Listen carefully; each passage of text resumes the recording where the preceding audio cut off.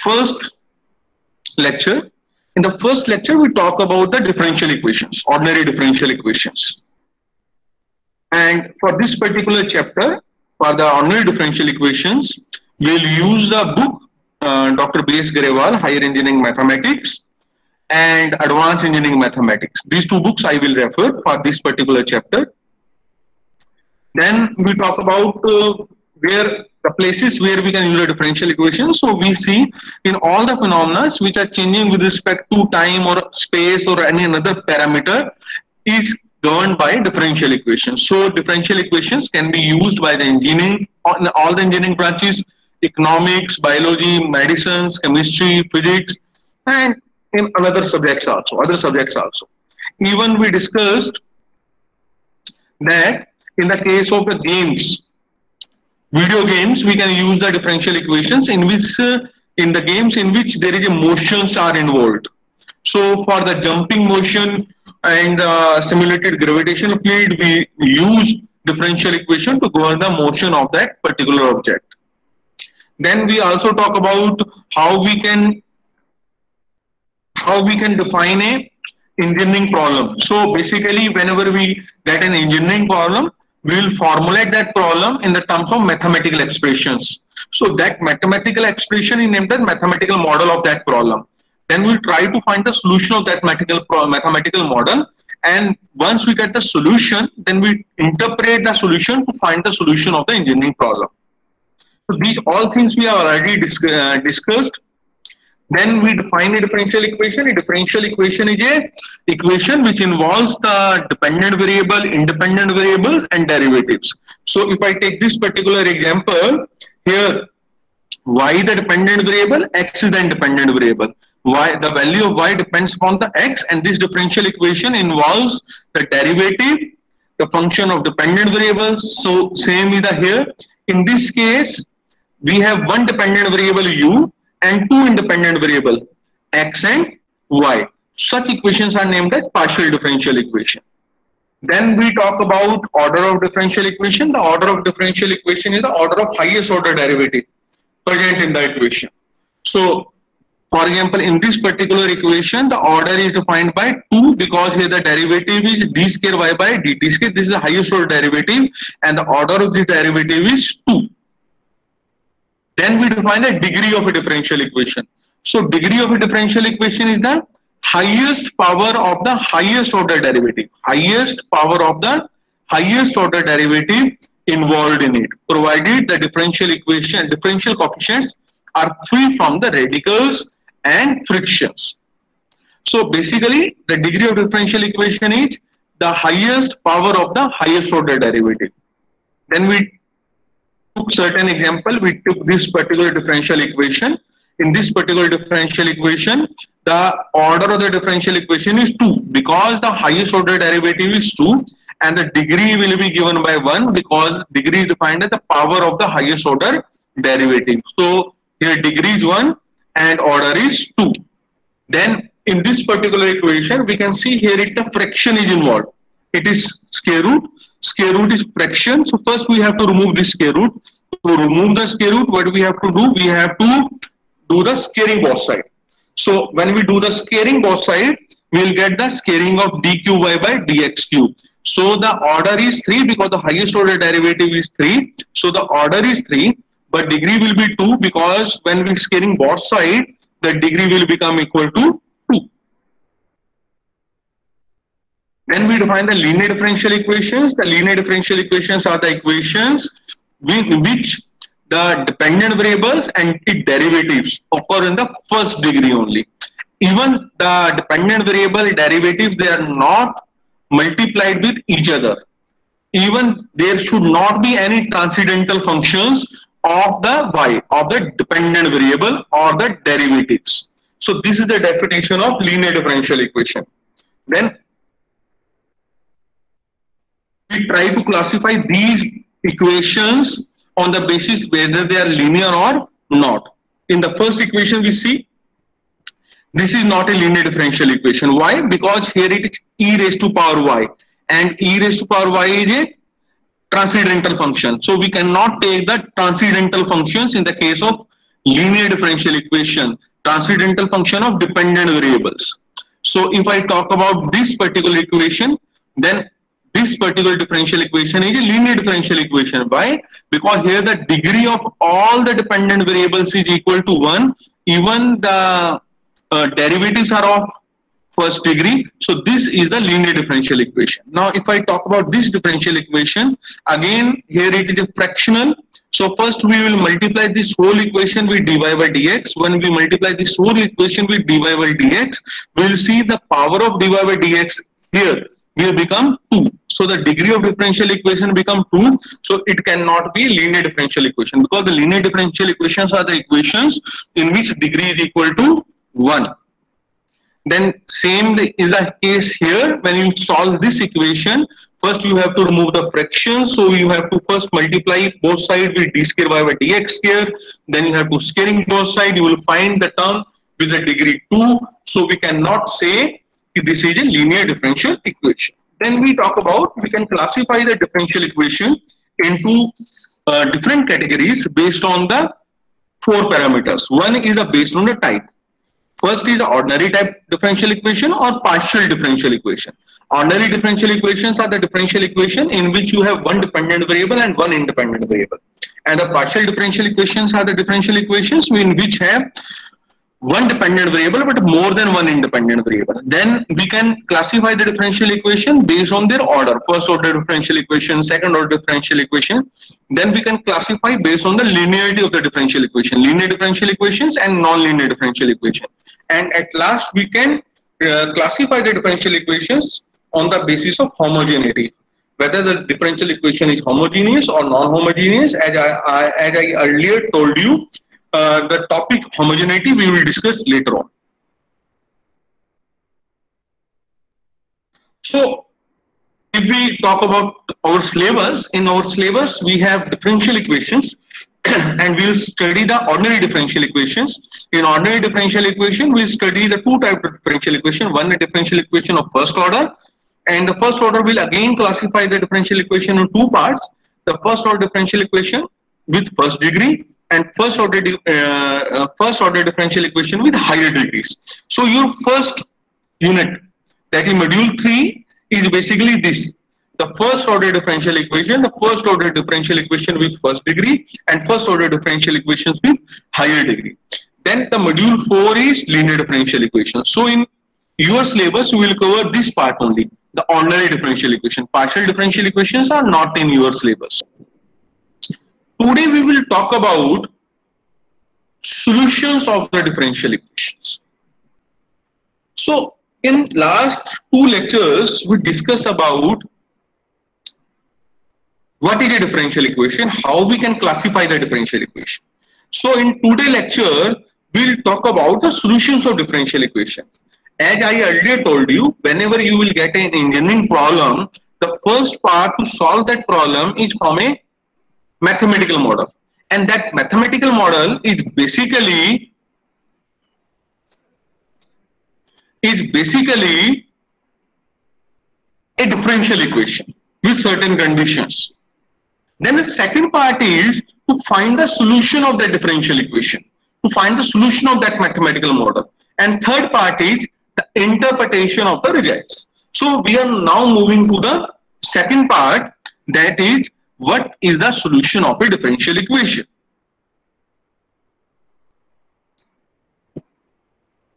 So you can stop me at any place.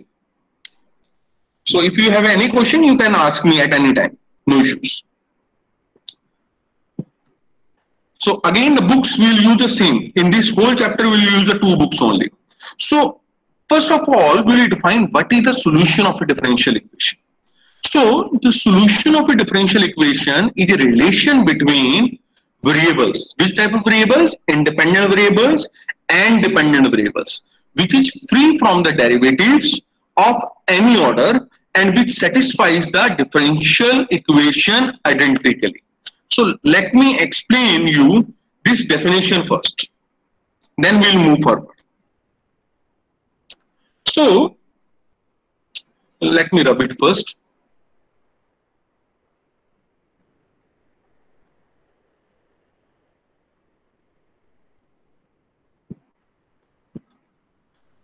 Now we are talking about solutions of differential equation.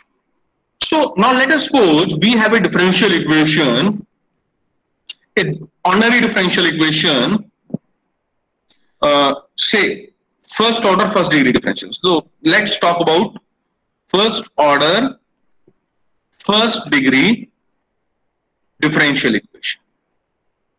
So we know that the first order first degree differential equations are represented by dy by dx equal to f of x. Now if I talk about the solution of this differential equation, if I talk about the solution of this particular differential equation, so this solution will be a relation between, relation means function,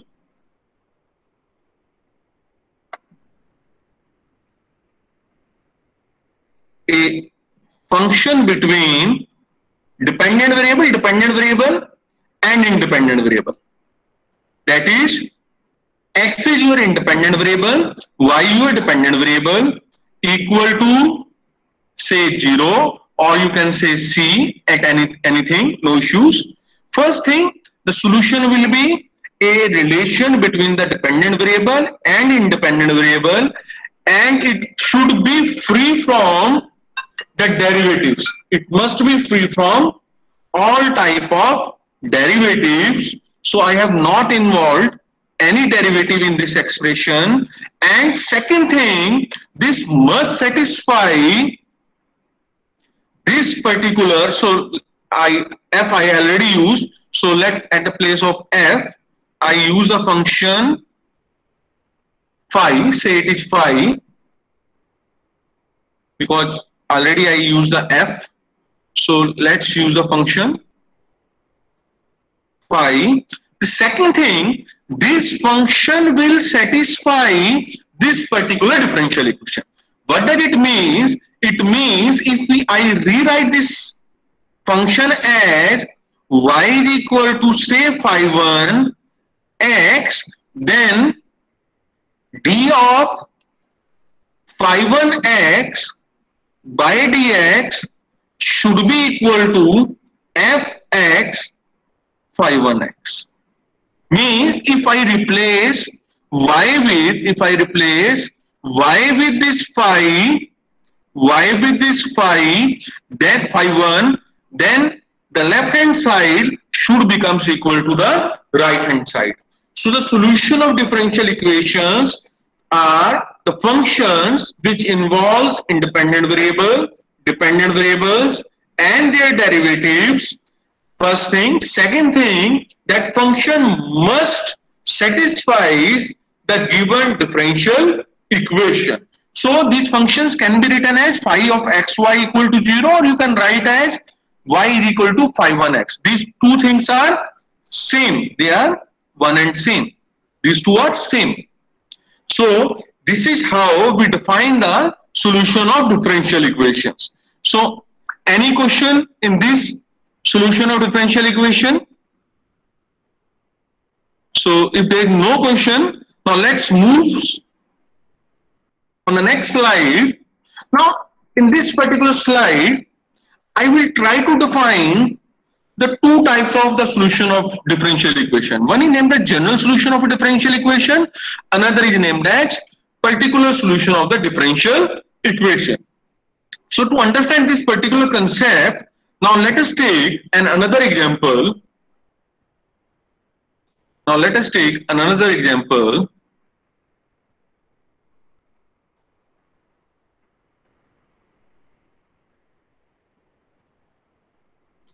So now let us take a differential equation. dy by dx equal to 3x square. Again, it is the first order first degree differential equation. You can check. Here the order is 1 as well as degree is 1. You know, you have already studied in your plus 2 standard how to solve the certain differential equation and this comes under the separable variable method of separation of variables. So what we can do? We can rewrite the differential equation as dy equal to 3x square dx. Then what we will do, we will integrate both side and we'll get 3x square integration will be x cube plus c. So this is the solution of this particular differential equation. So from this equation, what you can see, in this equation, there is no derivative involved. Moreover, if I take, if I try to find dy by dx, it will be 3x here. It will be 3x square, which means it satisfy it means it satisfy this particular differential equation. Left hand side is equal to the right hand side. Now, tell me what is this C? Constant. What is this C? Constant. Constant. It is a constant or something else? Constant. constant Just constant? Yes, sir. Constant. arbitrary constant arbitrary Yes. It is arbitrary constant. Now tell me, what is the difference between a constant and arbitrary constant? So that it can have any value. फिर उसके limits होती हैं जैसे negative to positive तक ऐसे So the basic difference between a constant and arbitrary constant is constant is a value which cannot be changed like 2, 3, 5, 6, 7, 8. These are the numbers. We cannot change their values.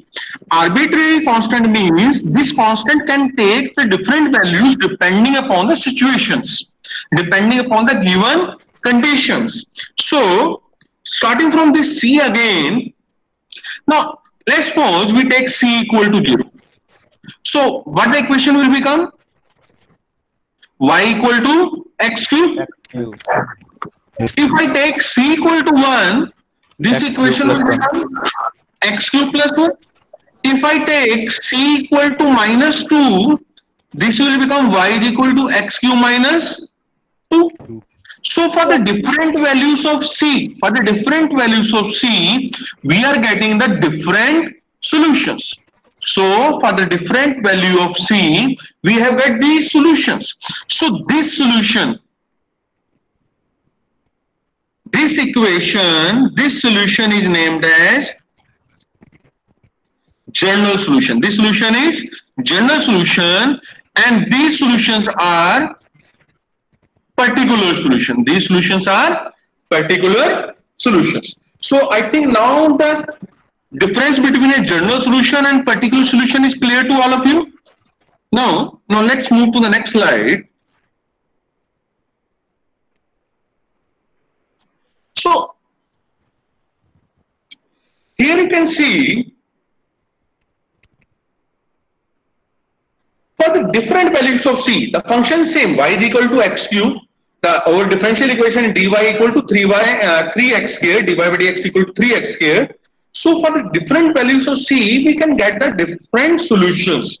For C equal to minus 2, this is the solution. This line represents the solution. For C equal to minus 1, this line represents the solution of the differential equation. For C equal to 0, this particular line show the solution of the differential equation. For C equal to 1, this line show the different solution of the differential equation.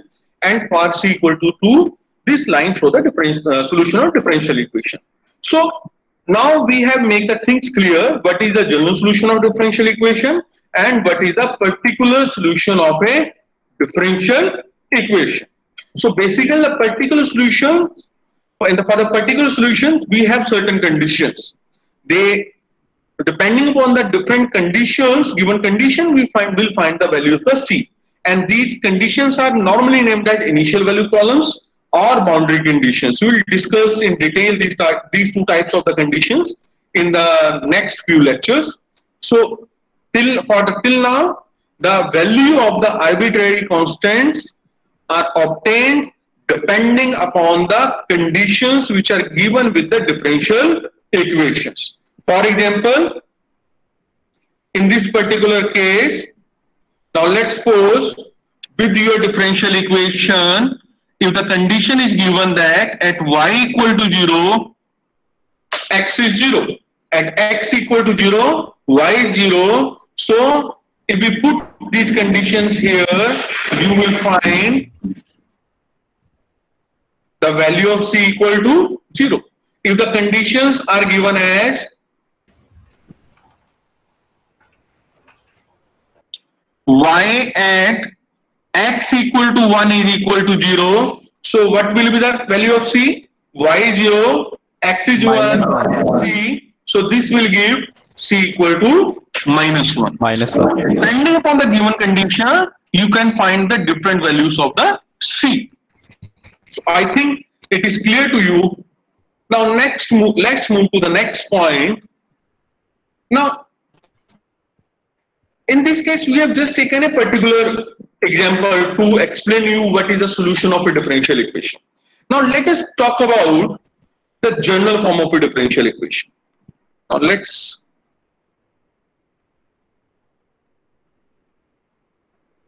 talk about the general equation. So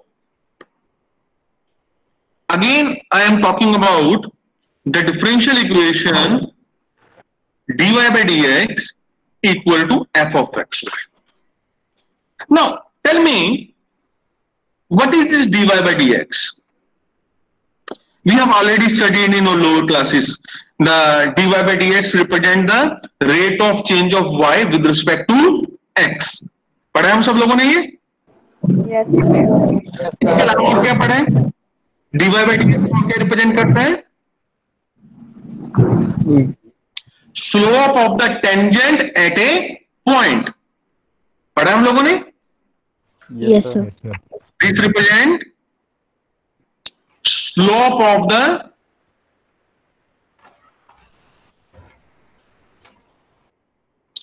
tangent. So it represents mm -hmm.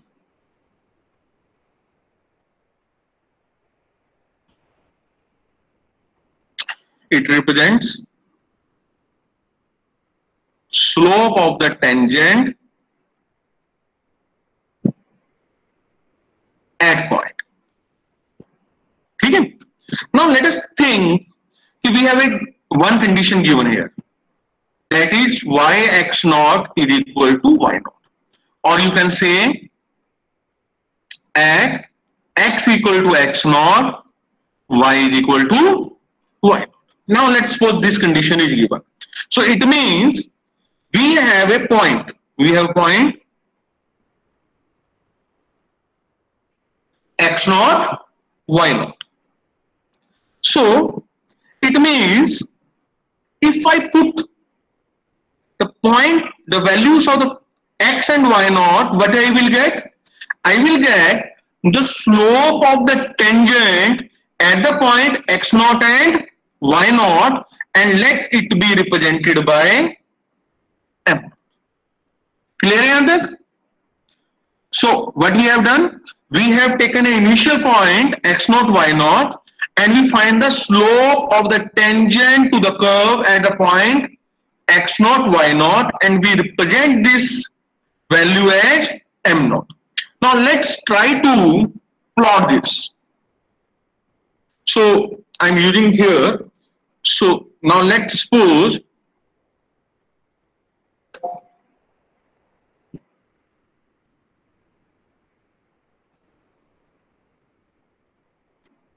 this point is represented by x naught y naught. And we know that the slope of the tangent at this point is given by m naught. Now let us take another point. A point x1 y1 in the neighborhood of x naught y. So what I am doing now let us suppose this is a point x1 y1 which is very very close to x naught y naught so what we can do again again what we can do we can find m1 now dy by dx just putting the value of the point x1 and y1 now it will give the slope of the tangent at the point x1 y1 and let it be represented by m1 so let this is the line with the value m1 similarly we can take another point x2 y2 and we can find the slope again. Let the slope at this point be given by this line. Then we can take another point x3 y3 again we can find the slope. And similarly till the point x and y. N so what does it represent? It means if these points are very very close to each other what will become? It will become a smooth curve and this curve is the solution of the differential equation dy by dx equal to f of x comma y. This is the geometrical representation of the solution of a first order, first degree differential equation. And let this curve is represented by a function phi is equal to y is equal to phi x. So it means this y equal to phi x will satisfy this condition, this differential equation under the condition that yx naught is equal to y naught. So any, so initial point is a naught. We find the slope at a naught, then we'll take another neighborhood point a1.